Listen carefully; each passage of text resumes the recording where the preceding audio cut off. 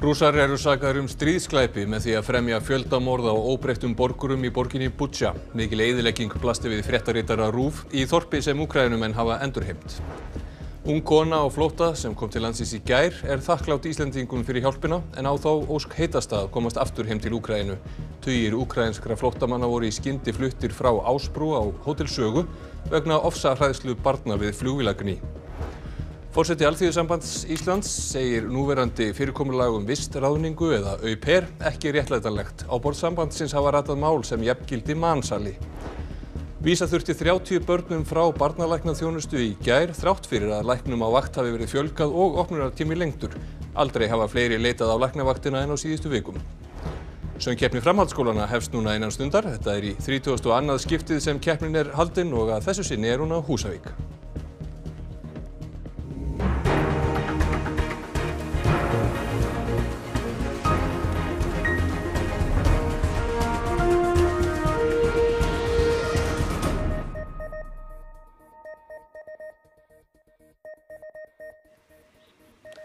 Gott kvöld.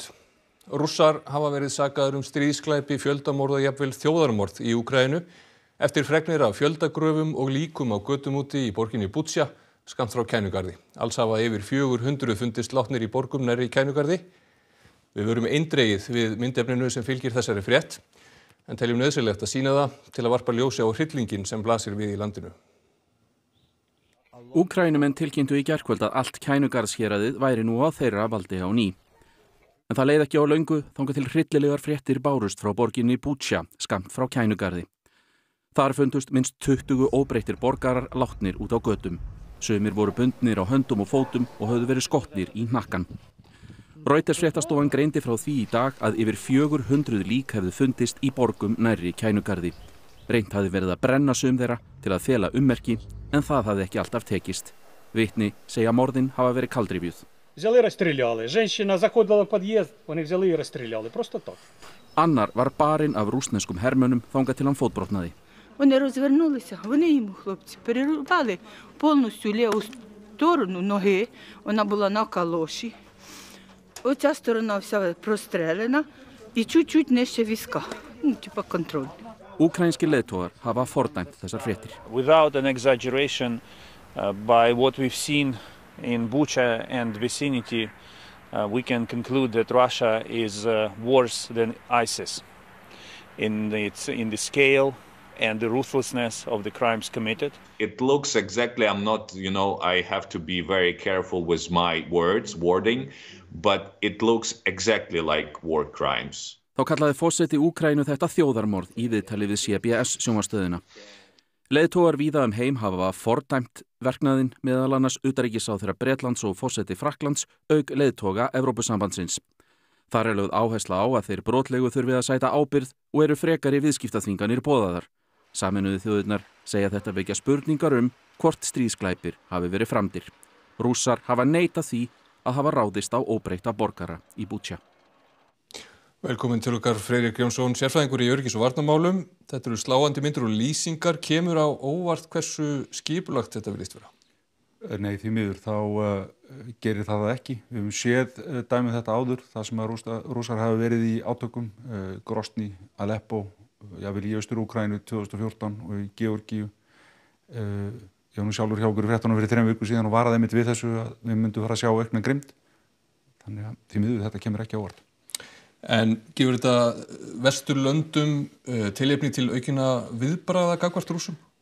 Já, ætti að gera það uh, til þess að herða frekar á viðskiptahindrunum og, og ebla stuðningu úkrænum með vopnaflutningum og sendingum og það má líka búast við að pólitísku þrýstingur á Vesturlöndum uh, núna þegar almenningu sér þessar fréttir og myndir þá verði þrýstingur á það að meira verði gert í stuðnings úkrænu verði, já, verði öflur og verði mun meiri. Framhaldið þróað þannig, st- þró- þróast þannig?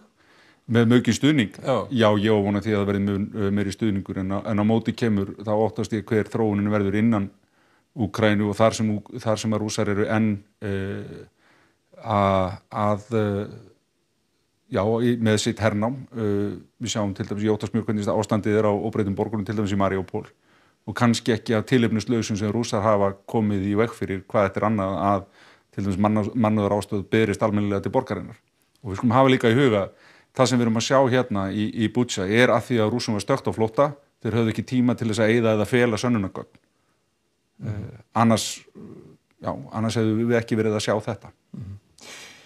Nú eru rúsar sagaður um uh, grimdarverk, stríðsklæpi uh, er hægt að sækja Pútín eða aðra til saga fyrir þetta?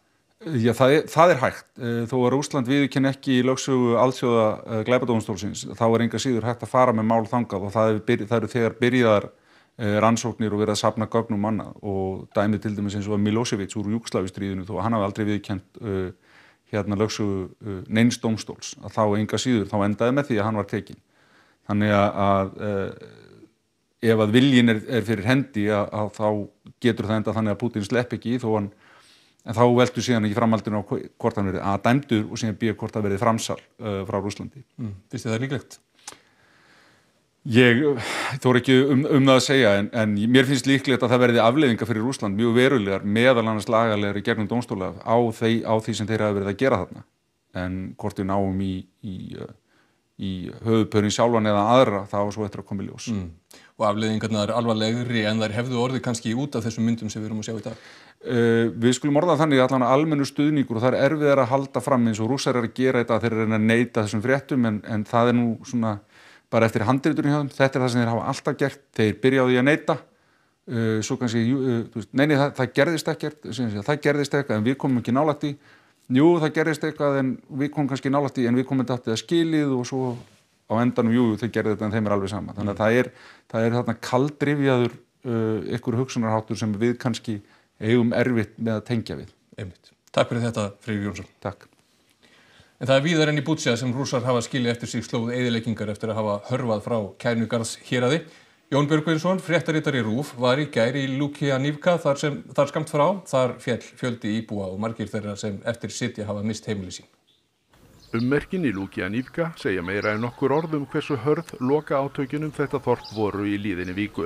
Það ríkur enn úr rústunum og síðusti líkin voru flutta brott rétt áðurinn mér og nokkurum íbúum var hleypt inn í þorpið á ný, rúmum mánuð eftir að rúsneski herin hernumdi það.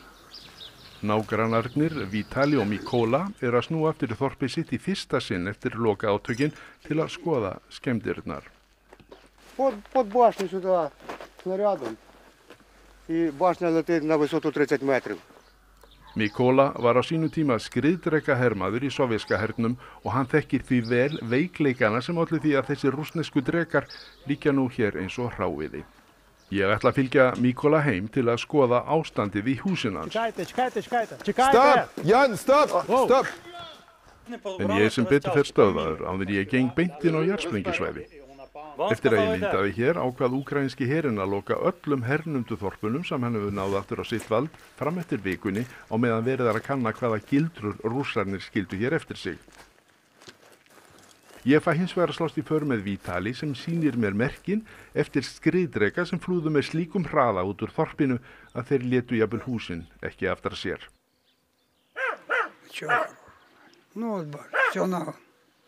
Sistur sonur hans sem átti þetta hús er ekki ennbúin að fá fréttinnar. Sjálfur er Vítali heppin.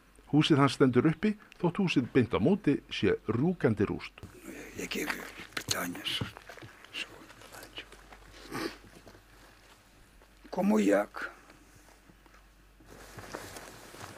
Herrpresturinn Nasari grýpur í tómt þegar hann ætlar að heimsækja glæsilega 150 ára gamla timburkirkju sem príti þorpið. Hún er horfin.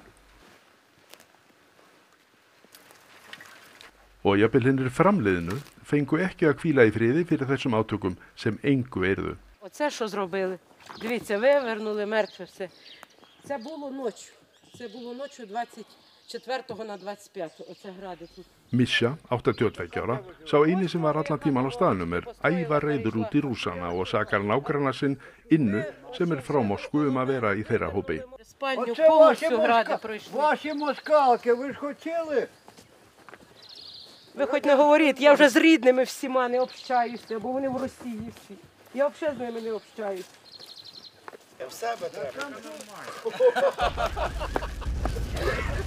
Þessir herrmenn Úgrænu hers eru vitanlega kátir eftir að hafa náð nokkur um þorpum hér í námynda Kænugars aftur á sitt vald á síðustu dögum eftir mánaðar langa hersetu rúsa.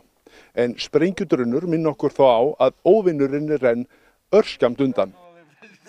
Eru anstæðingarnar á flókta, eru þeirra að undirbúa nýja stórsók eða að breyta áherslum í þessu óútreiknalega strífi. Hér í Úgrænu taka menn engu sem gefnu þegar rússætnir eru annars vegar. Jón Björgunsson í Ukrænu. Tugir flóttamanna voru fluttir í skyndi frá Ásbrúa á Hótel Sögu vegna ofsarhræðslu barna við flugvilegni frá Keflavíkuflugvalli. Ung kona á flótta sem kom til Íslands í gær frá borg í Grendvík Hænugarð með viðdvöl í Pólandi þakkar Íslandingum hlý, hlýhugin en vill komast heim aftur eins fljótt og auðið er. Búið er að bæta aðbúnað á Hótel Sögu en nokkuð skorti á eldhúsa aðstöðu og annað þegar flóttafólki kom þangað. Katarína Komiak dvelur tímabundið á sögu eins og fjöldi landa hennar. Hún er frá borginni Sítomír sem er vestan við Kænugarð. Ákvörðinin um að flýja var erfið. Móður hennar og amma urðu eftir í Pólandi í öruggu skjóli. Uh, it's near Kiev and uh, it was very scary uh, to be there because we uh, we heard a lot of um, A lot of bombing. a lot of bombing and um, maybe not so uh, so bad situation like in Mariupol or Kharkiv or uh, Chernihiv, but uh, we were there and uh, feel all these uh, cruel things. So we decided to leave country and uh, very uh, miss we miss our um, land so much. Um, are you hoping to go back as soon as possible or would you like to make a new life somewhere else? Uh, as for me, um, I would like to come back because I have a boyfriend there and uh, I have all my friends, all my life there. Íbúar í Vesturbæ Reykjavíkur hafa sett upp fjersbókarsíðu um aðstof við nýju vesturbæingarna og hafa verið að færa fólkinu fatnað og mat.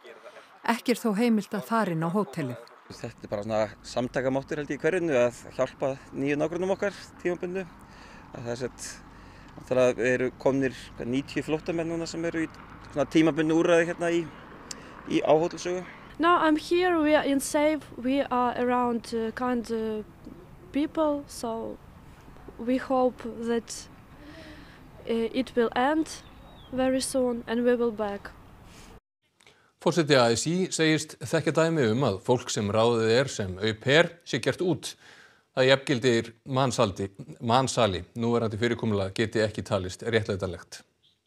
Undanfarin ár hefur fjölgað í hópi þeirra sem fá til sín svokallaða au-pair aðstóð.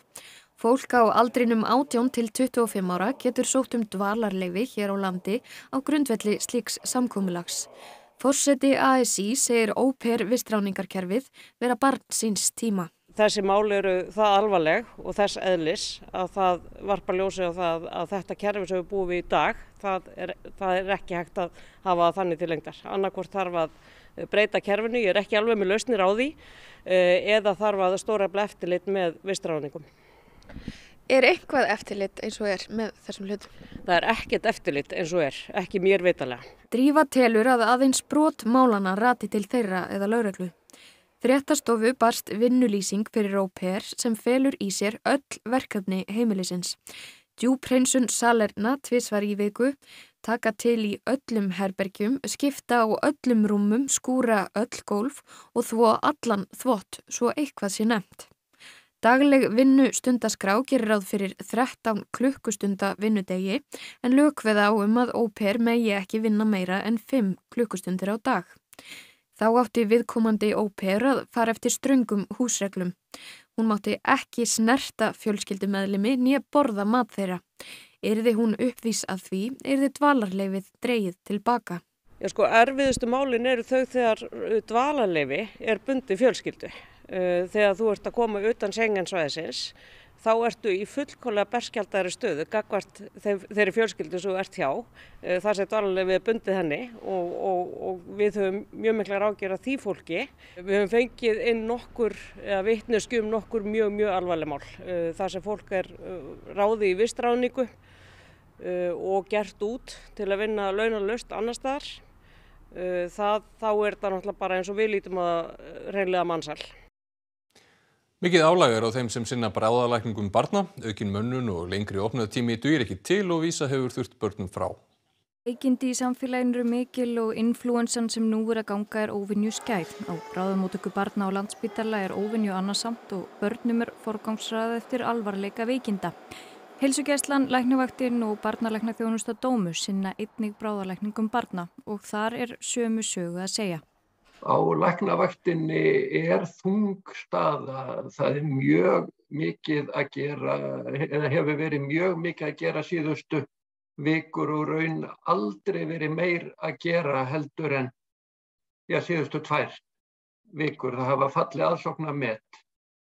Vel yfir 300 hafa komið á læknavaktina á annarsumustu dögunum og byggtími er langur. Læknum á vakt hefur verið fjölgað úr 5 í 7 en illa gengur á manna grunnvaktir vegna álags á helsugæslustöðum. Á barnalækna þjónustu Dómus kom í síðustu viku að meðaltali 200 börn á dag. Læknum þar hefur einnig verið fjölgað og opnunartími lengtur um helgar en það dugir ekki til. Í gæri til dæmis að þá sáum við rétt um 80 börn en það voru 30 sem að fengu ekki tíma og það sem gerist náttúrulega er að þessi börn að þau, ef þau eru daltið mikið veik þá verður þau að fara eitthvað annað samdægur svo þá faraðu á bráðum og tökur barnaspítilans. Þar þarf að tryggja öryggi veikustu barnana sem liggja inni og þarnast stöðugs eftirlits. En auðvitað hugsa mann og stundum að stumir hefðu geta slefti að mæta og íþingja helbriðskerfinu á þessum tímapunkti því eins og er þetta alltaf svo erfitt að segja því að mann þetta er náttúrulega, getur verið erfitt að meta. Fólk verður bara eiginlega að meta það sjálft. Ef maður er ekki alveg örugur, þá er það reynilega að reyna að fara með barnin til læknis. Ég myndi telja að það væri besta leiðin. Mörg ár eru síðan klassískur balletthópur hefur starfað hér á landi en í kvöld verður bætt úr því þegar balletthópurinn Forward Classic stýgur og svið. Það er bara mjög langt síðan það hefur verið klassískur hérna, danshópur á Íslandi. Íslenski dansflokkurum var einu sinni klassískur en hérna, við erum svona að reyna að taka fyrstu skrefin í áttina að því að, að hefja hérna, já, klassískan balletthóp á Íslandi. Og hvernig kom þið til að, að, að hérna, þið svona kerðu þetta áfram? Já, þetta byrjarinn er byrjarinn í januar, þetta humeng og humeng búin að vera upp í loftu fyrir eitthvað langan tíma að reyna að byrja þetta og taka fyrsta skref og nú er loksins þegar við byrjum og svo bara já, hérna, við, við reynum bara að halda áfram, þetta er byrjunni, vonandi getur getu þetta stækka, stækka, stækka og, og taka aðeins meira plás á Íslandi, þetta, þetta vandar á Íslandi, svona ballettflokkur, já. Þau segja synd að horfa á eftir hæfileikaríkum dönsurum úr landi til þess að geta unnið við ballettin. Nó sé af upprennandi dönsurum hér á landi. Það þarf klárlega bara að vera fleiri atvinnutækifæri fyrir dans almennt en það hafa bara ekki verið neyn atvinnutækifæri fyrir klassíska ballettdansara. Þannig að þessu þarf að breyta og það eru mjög góðu dansarar hérna. Uh, Janni er, er ekki svo eini, það eru fleiri þannig að það þurfa að koma fleiri tækfæri fyrir þessa dansar. Hópurinn sýnir í fyrsta sinn í kvöld. Brot úr 19. aldar ballettverkinu Paquita verður frum raunin.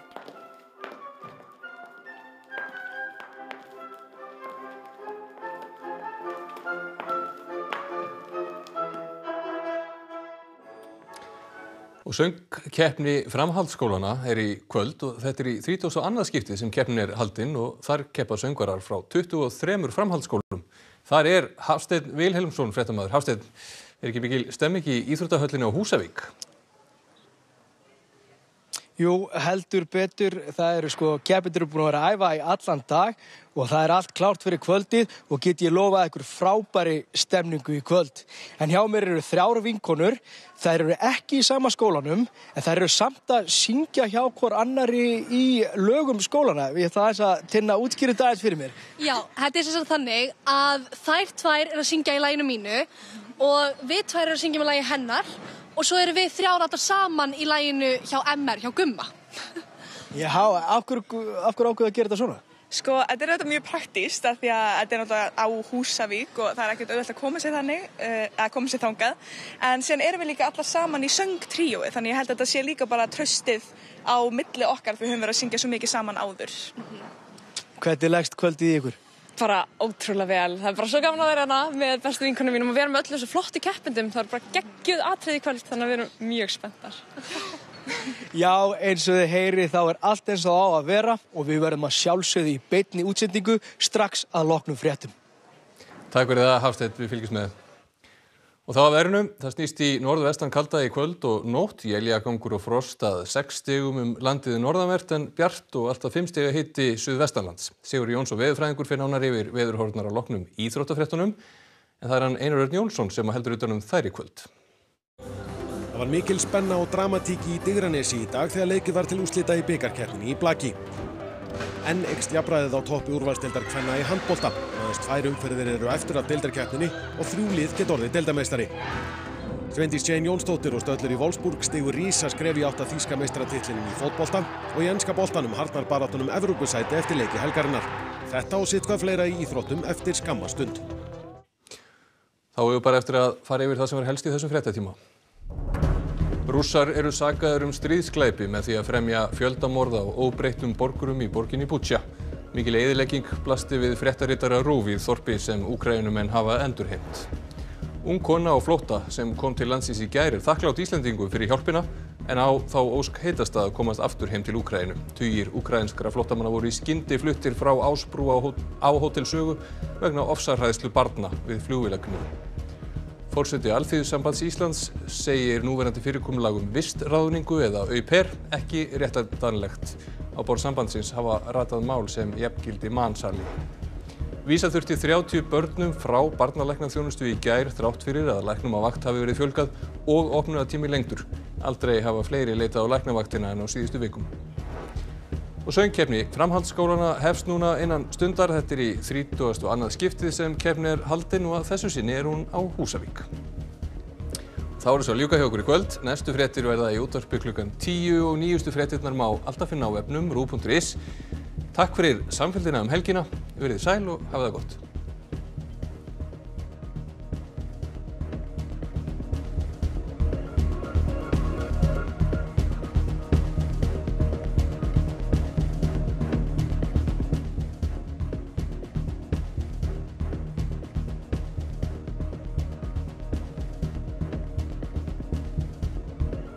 Hann er eins og kötturinn, fer sínar eigin leiðir og leitar uppi æfintýr. Maður þekkir fólk sem hefur verið etru í áratugji en það er bara stundur bara ekki allir í lægi sko. Nei. Það bara er kannski bara alveg gú gú sko. Þetta er, er ekki spurningum að sapna árum eins og einhver frímerki. Mér var óbóðið því sá að akkuringar að banna lausafgangu katta og þannig að ég já, stopnaði þetta kattaframbóð og, og, og vonast þess að